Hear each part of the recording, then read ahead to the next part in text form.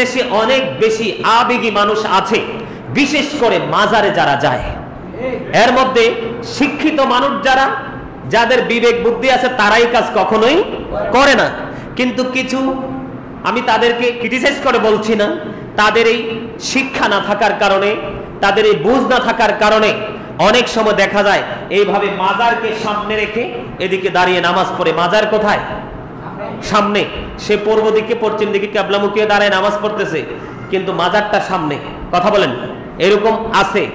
তো আমি বলব, যারা এইরকম ভাবে না জেনে মাজারকে সামনে রেখে সেজদা দিয়েছেন, তাদেরকে আমি বলে দিব যে যা দিয়েছেন দিয়েছেন, না বুঝে দিয়েছেন, কিন্তু আজকে থেকে মাথায় রাখতে হবে যে কবরের যে মাজার শরীফ আছে, আপনি আপনার পিসাবের মাজারকে সামনে পেয়েছেন, কিন্তু কপাল এটা একটা অন্য জিনিস, ঠিক কিনা বলেন? আল্লাহ বান্দার যা কিছু সৃষ্টি করেছেন, বডির ভিতরে যা দিয়েছেন, তার মধ্যে সবচেয়ে উত্তম হলো আত্মা। কি? সবচেয়ে উত্তম কি? আত্মা। এটা থাকলে সব জিন্দা। আর বাহিরে যেটা দিয়েছেন প্র্যাকটিক্যালি আমরা বাহিরে যেটা দেখি, এর মধ্যে সবচেয়ে উত্তম হলো কপাল। এই কপাল শুধু আল্লাহর জন্য। আল্লাহর কুদরতি কদমে ঠেকানো যাবে। আর কারও এই কপালের মধ্যে আর কারও ভাগ নেই এই জন্য আল্লাহর হাবিব নিষেধ করেছে। তুমি কোন কবরকে সামনে রেখে নামাজ পড়িও না। জোরে সরে বলেন না সুবহান আর জোরে। দুইটা সমাধান, তিনটা গেল। এবার আসেন। এ হাদিস শরীফটা অনেক লম্বা। Time short. এ হাদিস শরীফটা অনেক লম্বা। আমি পুরো বিস্তারিত ভাবে তেলাওয়াত করতে পারব না। তবে আপনাদেরকে আমি বলব, হে হাদিস শরীফের মূল ভাষাটা। আব্দুল্লাহ ইবনে আব্বাস রাদিয়াল্লাহু তাআলা আনহু থেকে হাদিস খানা বর্ণিত। ও বন্ধু, হাদিস খানা এসেছে বাইহাকি শরীফের মধ্যে। আমাদের দেশে কিছুদিন আগে দেখলাম সোশ্যাল মিডিয়াতে ভাইরাল হয়ে গেছে। আমি নাম বলব না, কারণ তাদের নাম বলতে আমার খুব ঘৃণা হয়। এই জন্য তাদের নাম আমি বলব না। আপনারা সবাই আমি বললেই চিনতে পারবেন। ওফিনলি বক্তব্য দিতেছে যে কবরের পারে যে আড়াত করা লাগবে না, কবরের পাশে যায় কোরআন তেলাওয়াত করা লাগবে না, কবরের কাছে যাওয়ার কোনো দরকার নাই। এতে কবরবাসীর কোন সওয়াব নাই। জোরে সরে, নাউজুবিল্লাহ। কিন্তু আল্লাহর হাবিব বলেছেন, এই হাদিস শরীফ না? আর একটু সামনে যদি আসি, এখানে বন্ধু আল্লাহর হাবিব বলেছেন, ইবনে আব্বাস রাদিয়াল্লাহু তাআলা আনহু থেকে হাদিস কানা বর্ণিত, এটা পরে বর্ণনা করছি। আল্লাহর হাবিব বলেছেন, ফাকালা, আসসালামু আলাইকুম ইয়া হালাল কবর। জোরে সরে বলেন না, সুবহানাল্লাহ। আর আরও জোরে বলেন, সুবহানাল্লাহ। দেখেন, এই পৃথিবীর অর্থনবী মৌলবী, দলীয়করণ ওলা মৌলবী, বিদর্মীদের অর্থে যারা লাফালাফি করে ওই সমস্ত মৌলবীদের ভাষা। আর আপনার আমার প্রাণের নবীর ভাষা, আকাশ আকাশ আর জমিনের মতো পার্থক্য, তারা বলে কোনো কিছু করার দরকার নাই, কবরবাসীর কোনো উপকার হয় না। এখানে আল্লাহর হাবিব বলেছেন ফাকাল আসসালামু আলাইকুম ইয়া আহলাল কবর। জোরে সরে বলেন না, সুবহানাল্লাহ। আল্লাহর হাবিব যখন মদিনাতুল মুনাওয়ারায় কোন কবরের পাশে দিয়ে যেতেন, তিনি কবরবাসীর শান্তি কামনা করে তাদের প্রতি তিনি সালাম দিতেন। আর জোরে সুবহানাল্লাহ, মুহাব্বতে সুবহানাল্লাহ, ইয়াগফিরুল্লাহু লানা ওয়া লাকুম।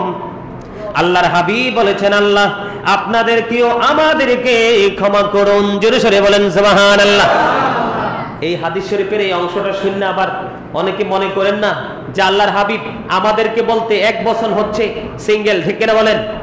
কথা বলেন না কেন? আমাদেরকে এখানে বহু বচন বুঝিয়েছেন, কথা বলেন ঠিক কিনা? এখানে সবার কথা বলেছেন, যারা চলে গেছে এবং যারা যাবে, আল্লাহ যেন সবাইকে ক্ষমা করে দেয়। এটা মনে করেন না, আবার আল্লাহর হাবিব গুনাহগার ছিল, বিদায় দোয়া করেছে। নাউজুবিল্লাহ বলেন। এটা কিন্তু কখনোই মনে করা যাবে না। আমাদের দেশে কিছু, বললাম না যে ওই সমস্ত মৌলবী আছে, এরা কিন্তু আবার এটা শুনলে বলব হ্যাঁ নবীর গুনাহ আছে দেখে তো, আল্লাহর কাছে ক্ষমা চাইছে। জোরে সরে বলেন, নাউজুবিল্লাহ। আল্লাহ সবার, আল্লাহর হাবিব সবার কথা বলেছেন। তাহলে কবরের পাশে যাওয়া যায় কিনা? যাওয়ার বৈধতা আসেনি? হাদিস শরীফে বিশ্বাস হয়নি? কথা বলেন না কেন? এই মিয়া, যে ছাগল বলবে, কবরের পাশে যাওয়া যাবে না, কবরবাসীর জন্য কিছু করা যাবে না, এটা মরার পরে কুকুরও তার কবরের দিকে তাকাবে না। কথা বলেন ঠিক কিনা?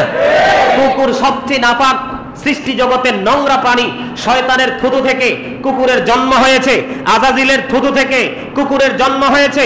কুকুর সৃষ্টি জগতের সবচেয়ে নাপাক প্রাণী, এই কুকুরও তার কবরের দিকে তাকাবে না। ঠিক করে বলেন, কেন তাকাবে না? সে আল্লাহর হাবিবের জবানের উপর তার জবানটাকে উঁচু করে কথা বলেছে। জোরে সরে বলেন, ঠিক কিনা? আল্লাহর হাবিবের জবান মোবারকের উপরে জবান তোলা যাবে না। এবার আসেন আল্লাহ হাবিব সরকার দো আলম নূরে মুজাসসাম তিনি বলেছেন কবরবাসীরা এমন অবস্থায় আছে। ধরেন আটলান্টিক মহাসাগরের মধ্যে একজন মানুষ পড়ে গেছে। বাঁচার জন্য কত আকুতি তার মনে। কিন্তু বাঁচার মতো কোনো ঢাল খুঁজে পায় না অসহায়। ঠিক ওই সাহায্য সমুদ্রের উপর সাহায্য প্রার্থীদের মতো হলো। আপনার বাড়ি বাড়ির আঙ্গিনায় দাদা ভাই যারা কবরে আছে তারা। জোরে সরে বলেন না আল্লাহু আকবার। সাহায্য প্রার্থীদের মতো। অসহায়রা যেমন সাহায্য খোঁজে, তেমনি ভাবে কবরবাসীরাও কবরে দুনিয়ার মানুষের কাছে সাহায্য খোঁজে। ভাই আছে, বাবা আছে, সন্তান আছে, আওলাদ আছে, সবার কাছে তারা কি চায়? সাহায্য চায়। তাদেরকে সাহায্য করবেন আপনি কেমনে? যেমন ধরেন আজকে অনেকেই দোয়া চেয়েছে, এই যে আজকে দোয়া করব, মিলাদ পড়ব, প্রত্যেকটা কাশিদার সাওয়াব এই কবরবাসীর কবরে চলে যাবে। এটাই তাকে সাহায্য করা। এটা আমার কথা না, বাইহাকি শরীফের হাদিস। আল্লাহর হাবিব বলেছেন, আমরা কি করব? কবরবাসীর জন্য মাগফিরাত কামনা করব, তাদের জন্য দান সাদকা করব, তাদের জন্য দোয়া করব, তাদের জন্য মিলাদের আয়োজন করব, তাদের জন্য কোরআন খানির আয়োজন করব, তাদের জন্য দান সাদকার আয়োজন করব, তাদের আত্মার মাগফিরাত কামনা করে আমরা গরিব দুঃখীকে দাওয়াত দিয়ে খাইয়ে দিব, আর বিনিময়ে চাইব আল্লাহ, এই গরিব মানুষগুলোকে খাইয়ে দিয়েছি, এটার সওয়াব তুমি আমার বাবার জন্য কবুল করো, আমিন। আর জোরে বলেন, আমিন। মহাব্বতে। আর জোরে, যখন আপনি এইভাবে দোয়াটা করবেন, এই তাদের জন্য দোয়াটা কেমন মনে হবে জানেন? দুনিয়া এবং দুনিয়ার মধ্যে যা কিছু আছে, সব কিছুর চাইতে উত্তম হবে।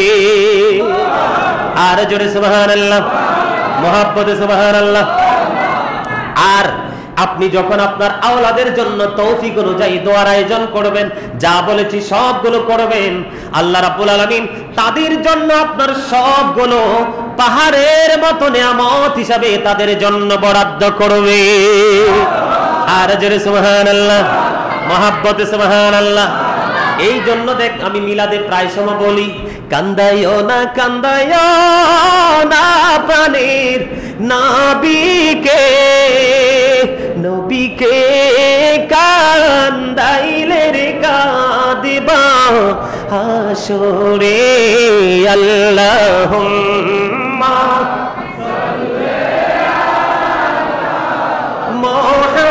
মোহাম্মদ বদায়ালের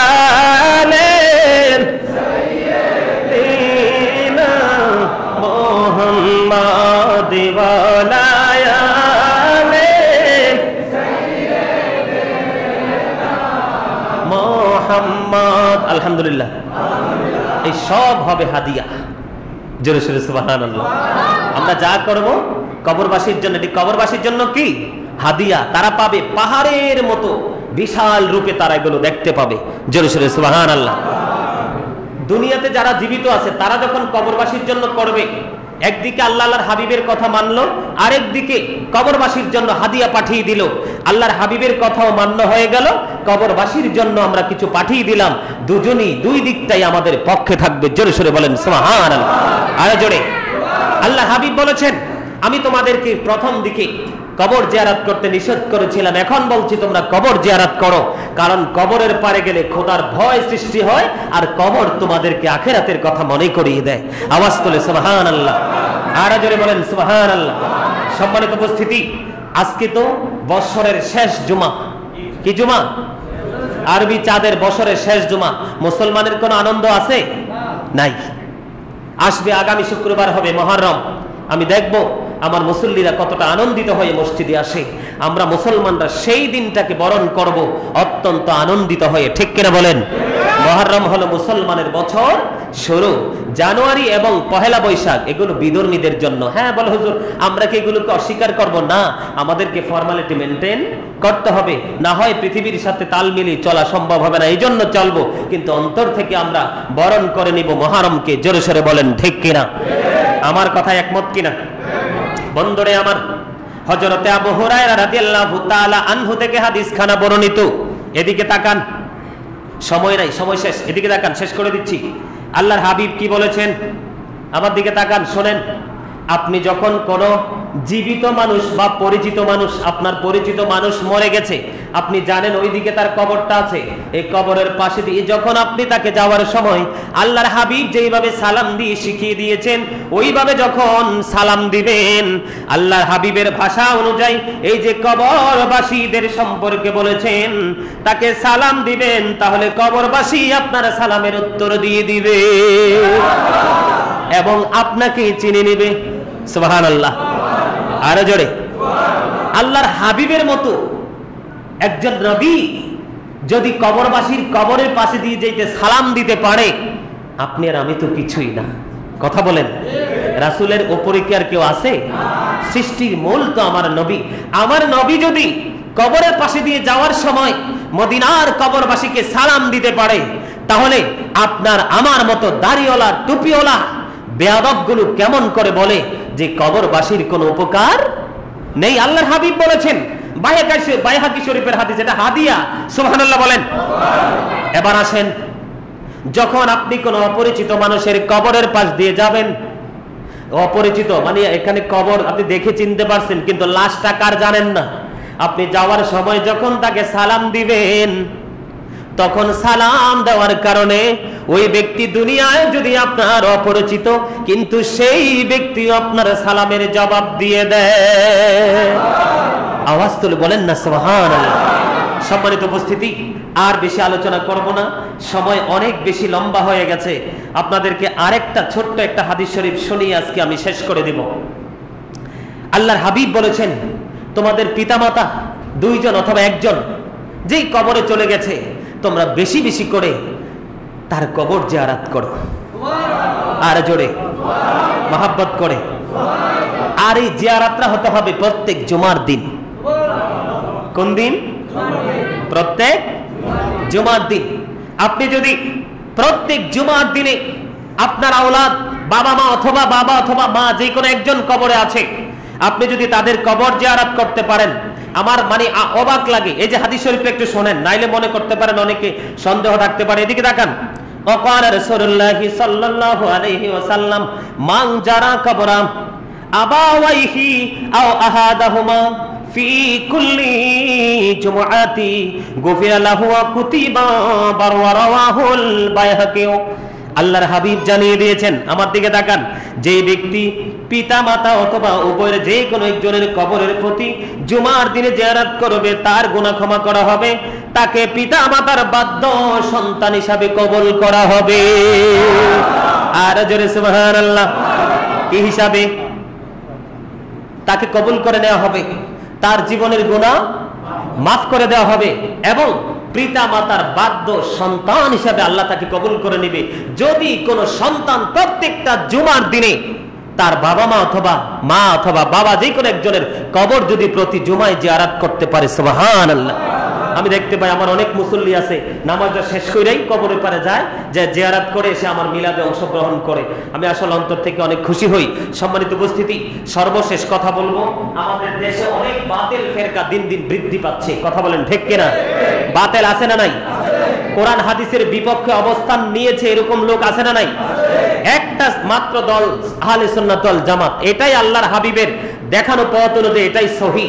হ্যাঁ বলো হুজুর, এই দলে থাকলে কি জান্নাতে যাওয়া যাবে? না। এই দলে থাকলেই শুধু জান্নাতে যাওয়া যাবে না। এই দলে থেকে রাসুলের নিয়ম অনুযায়ী কাজ করতে পারলে জান্নাতে যাওয়া যাবে। আর না হয় শুধু সুন্নি জামাত নাম দিয়ে জান্নাতি হওয়া যাবে না। আর বাকি বাহাত্তরটা দলই হলো কি? বাতেল, জাহান্নামি। এটা আমি বলিনি, রাসূল বলেছেন, মা আনা আলাইহি ওয়া আসহাবি। এটা আমি বলছি না, রাসূল বলেছেন, আহলে সুন্নাহ ওয়াল জামাত ইজ দা বেস্ট পার্টি। আল্লাহর হাবিব বলেছেন, আহলে সুন্নাত ওয়াল জামাত দলটা হলো সবচেয়ে উত্তম দল। এটার বাহিরে সব জাহান্নামি। এই সমস্ত মৌলবীরা যত বড় দাঁড়িয়ে থাকুক, দেখবেন এত বড় মেসাক থাকবে। তাদের যাই থাকুক না কেন, তাদের কথা মানা তাদের কথা গ্রহণ করা যাবে না। কারণ তাদের কথা আর কোরআন হাদিস বিশাল পার্থক্য। আল্লাহ যেন আমাদেরকে নিজেদেরকে কবরে যাওয়ার প্রস্তুতি এবং যারা কবরে চলে গেছে, তাদেরকে সম্মান করে যেন আমরা জীবনকে পরিচালনা করতে পারি। আল্লাহ যেন সবাইকে সে তৌফিক দান করে। সকলে বলুন, আমিন। এই বলে আমি আমার সংক্ষিপ্ত আলোচনা শেষ করেছি। ও আকিরি দাওয়ানা আলহামদুলিল্লাহ রবিল আলমিন। যারা সুন্নত পড়েননি, তারা